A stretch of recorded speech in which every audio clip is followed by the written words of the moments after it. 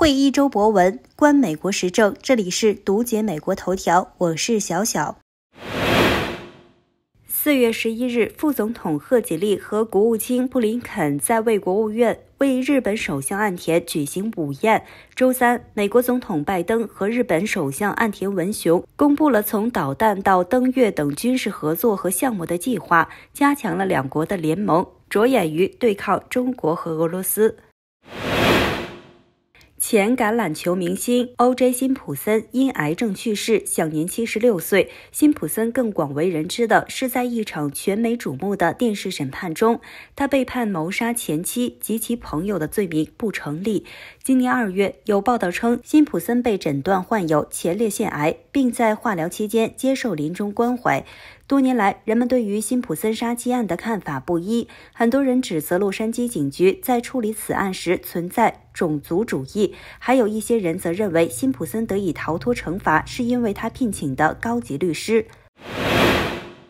大型航空公司及代表这些公司的一些工会要求拜登停止批准更多美中之间的航班。他们表示，中国对美国航空公司实施了反竞争政策。让他们处于不利的地位。由多个工会组织签署、代表联合航空、达美航空等大型航司的美国航空协会，在周四一封致国务卿布林肯和交通部长布蒂吉格的信中表示，现状会牺牲美国员工和企业的利益。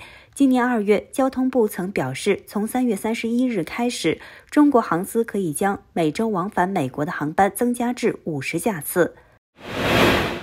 拜登政府周四批准几十年来最广泛的关于购枪背景调查的规定，试图监管飞速增长的影子武器市场。这个市场包括在线枪支展以及私下买卖，助长了枪支暴力。新规要求任何从事以盈利为目的的枪支营销业务的人都必须注册成为获得联邦政府许可的枪支经销商。这意味着卖家必须对潜在的买家进行犯罪背景和心理健康调查。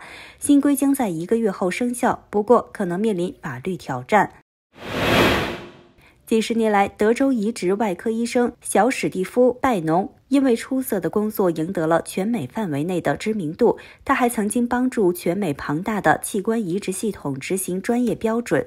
但是，官员们目前正在调查一项指控。该指控称，拜农秘密操纵一个政府数据库，让他的一些病人无法获得接受新的。肝脏移植的资格目前还不清楚拜农这些举动的动机。调查过程中，拜农所在的医院在过去一周突然关闭了他负责的肝脏和肾脏移植项目。